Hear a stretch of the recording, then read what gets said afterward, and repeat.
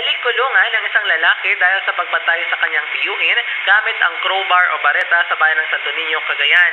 Kinilala ang suspect na nasampahan na ng kasong murder na si Ronald Cabaruan, 45 taong gulang, balo at residente ng barangay Masikal sa naturang bayan kung saan dalawang beses na rin itong nakulong. Ayon kay Police Lieutenant Melody Ballesteros o IC Chief of Police ng PNP Santo Niño na unang dinala sa pulisya ang suspect ng isang retiradong sundalo matapos ang pagpatay nito sa kanyang tiyuhin na si Herminio Tarampe na 73 taong gulang magsasaka at residente ng naturang lugar. Sa investigasyon, sinabi ni Ballesteros na dumating ang suspect sa bahay ng kanyang ina na nasa impluensya ng nakalalasing na inumin at nagalit ng walang madatnang pagkain pasado alas 9 ng gabi noong ikalabing tatlo ng Setyembre.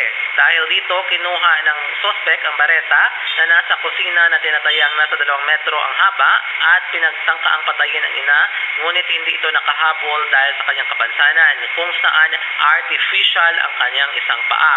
Agad namang sumaklolo ang biktima na kapitbahay lamang na mag-ina matapos marinig na humingi ng saklolo ang kanyang hipag ngunit ito ang pinagbalingan ng galit ng suspect. Unang tinamaan ng bareta sa batok ang biktima at nang napahiga ay paulit-ulit nitong itinusok ng suspect ang matulis na bahagi ng bareta sa ulo at mukha ng biktima kung saan tumagos pa ito sa, is- sa kanyang isang mata na nagresulta sa agaran nitong pagkamatay.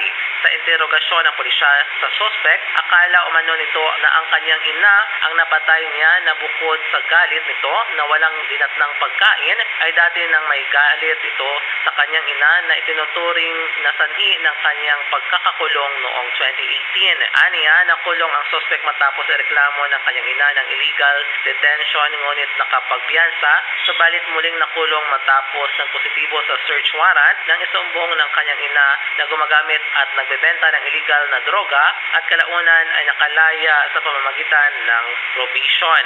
Ang mga ito aniya ang laging isinisingil ng suspect sa kanyang ina tuwing nalalasing. Mula dito sa Cagayan, M. de la Cruz para sa Radio Alternativo, Balita Nationwide.